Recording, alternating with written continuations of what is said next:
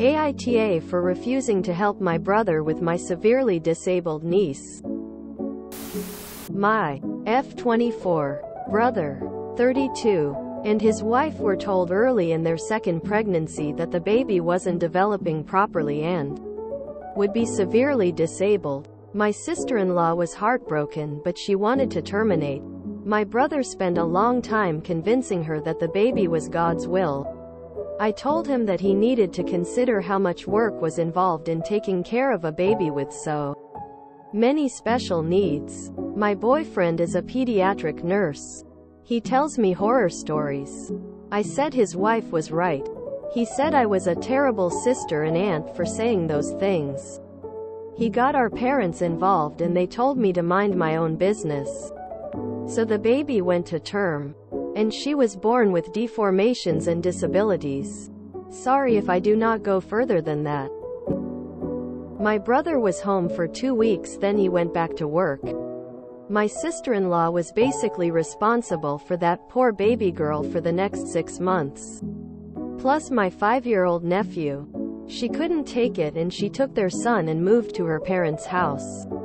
My brother has been trying to get her to come home but she won't.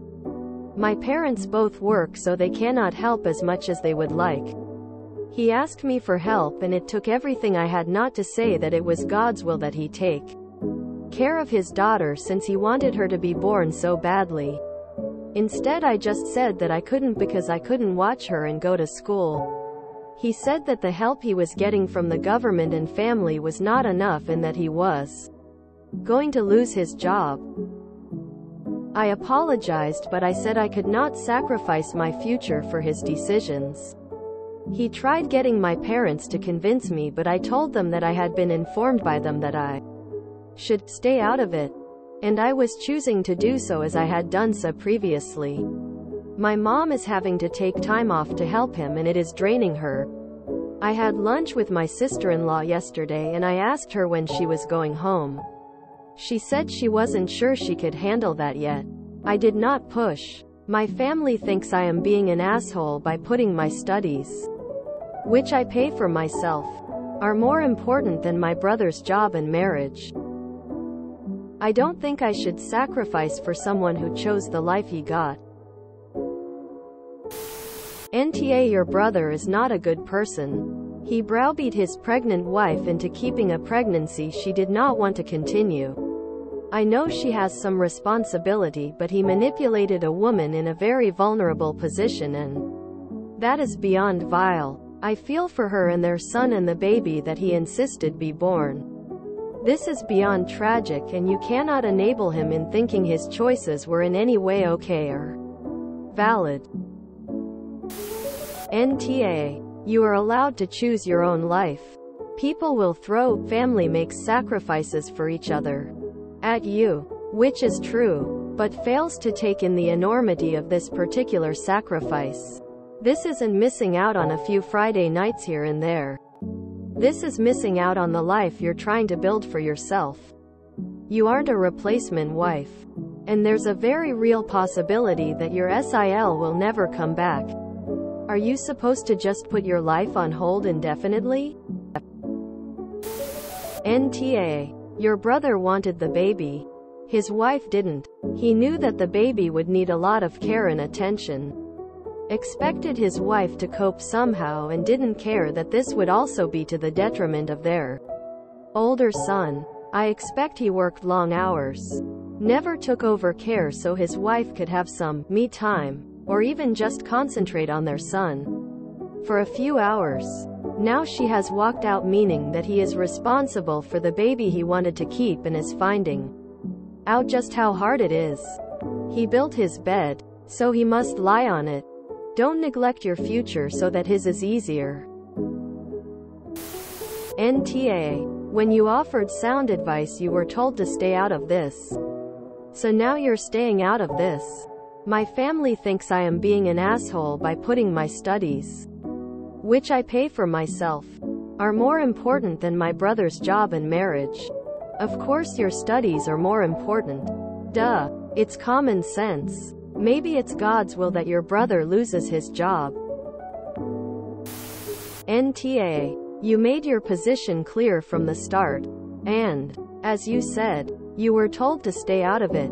As heartbreaking as this is, you should not sacrifice your future for your brother's sake. And, should you decide to help in the future, staying in school puts you in a better position to help then. Your parents have decided to help that was their decision you are not bound by that. And I can only hope that they're feeling or being influenced by their exhaustion. NTA, but everyone else sucks. NTA. He persuaded his wife to go through with the pregnancy and now he's living with the consequences. It's a shame for the child but he can't expect other people to put their lives on hold for his choices. If I were your Sil, I don't know that I could ever come back. Your brother sounds controlling and manipulative. Yes. This is now a difficult situation and he can't go it alone.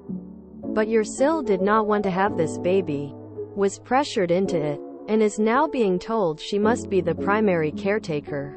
I mean, no, she did not have to acquiesce to your brother. But I can see how that could feel like an impossible situation. I wouldn't be surprised if your brother is regularly a poor partner to her given the info from this story. I think you're not in the wrong. You shouldn't sacrifice for your brother. But if you have some time that isn't sacrificial and at a cost to you, maybe consider grace. However, if it seems like a give an inch and he'll take a mile, I would be very wary.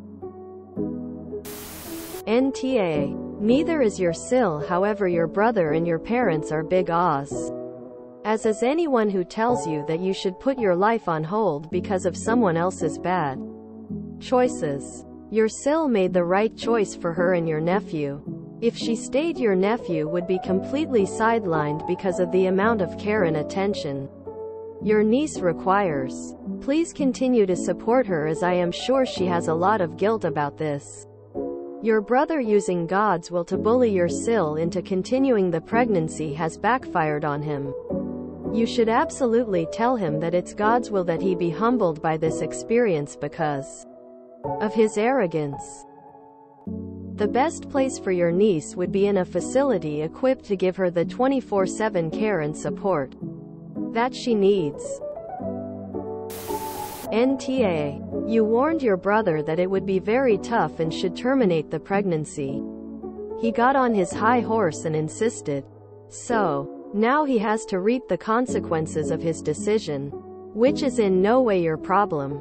Out of idle curiosity, could he make his daughter a ward of the state? I know that sounds cold. But he isn't capable of caring for her. She might stand a better chance of getting the care she needs. In Ta, people that use God's will to get their way never feel any accountability or responsibility for their actions and choices. All of the adults in this, except for you, are giant Oz. NTA. He literally forced this child into the world against all common sense and now wants to force the women in his life to care for her. Good for your sis-in-law leaving after he forced her to have a CH8LD. I hope she stays away. In fact, tell her to divorce before he loses his job so he gets no alimony. NTA. Your brother it's the real AH. They should had stopped the pregnancy. Now it's too late and euthanasia is non-legal. So your brother basically trap himself for life and destroy his own marriage for a religious and stupid belief. NTA.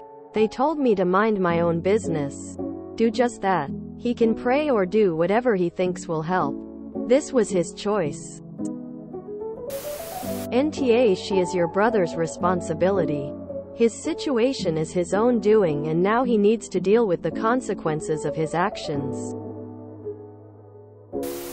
NTA and how could anyone possibly think it is your responsibility to take care of someone else's baby? It is irrelevant that you advised them to terminate. Is there some kind of cultural aspect here because otherwise this just doesn't make any sense?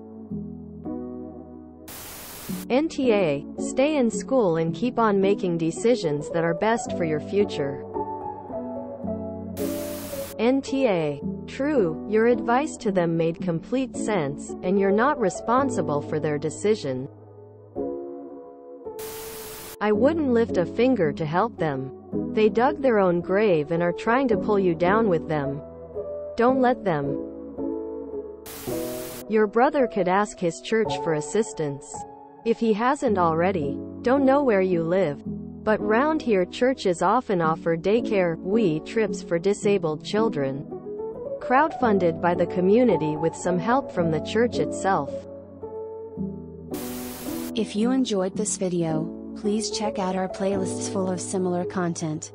Epicaricast is like doom scrolling for your ears. Please like, share, and subscribe.